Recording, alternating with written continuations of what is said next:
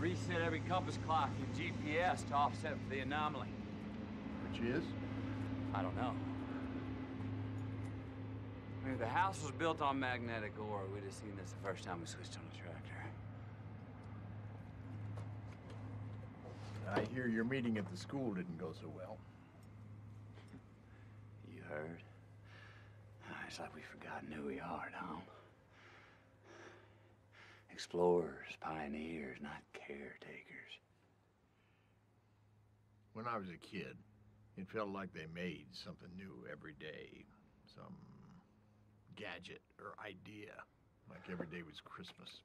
But six billion people. Just try to imagine that. And every last one of them trying to have it all.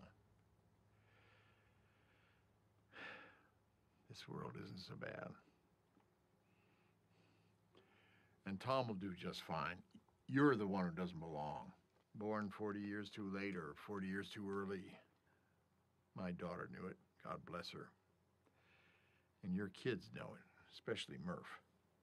Well, we used to look up in the sky and wonder at our place in the stars. Now we just look down and worry about our place in the dirt. Cooper, you were good at something, and you never got a chance to do anything with it. I'm sorry.